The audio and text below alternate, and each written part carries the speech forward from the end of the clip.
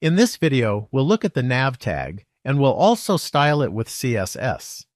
The nav tag is part of a category known as semantic elements. These elements, much like the generic div container, encapsulate content.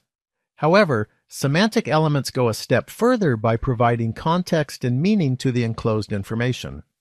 The nav tag specifically houses navigation links. This explicit definition enhances the content's clarity, allowing search engines and assistive tools to comprehend its function more effectively.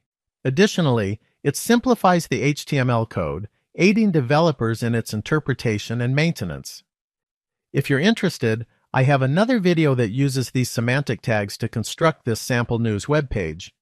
A companion video styles it with CSS. You can find links to them in the video description. So how are nav elements used? The nav element is meant for major blocks of navigation links. Therefore, not all links should be contained in a nav element. A common use for the nav element is the main navigation menu, typically found at the top of a web page. This sample represents a top of the page navigation menu. So let's style it with CSS. We'll start by changing the background color of the nav element. Then we'll add some styles to the anchor tags. This will display them as block level elements and float them to the left. This centers the text and this removes the underline.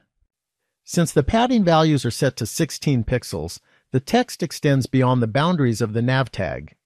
To make the nav tag expand to the size of the text plus its padding, we'll set the navigation overflow property to hidden.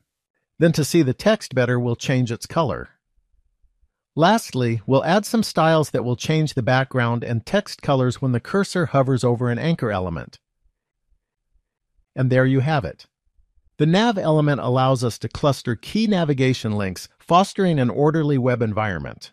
Coupled with CSS, it empowers us to craft web pages that are not only aesthetically pleasing but also logically organized. Thanks for watching and please subscribe and leave a comment.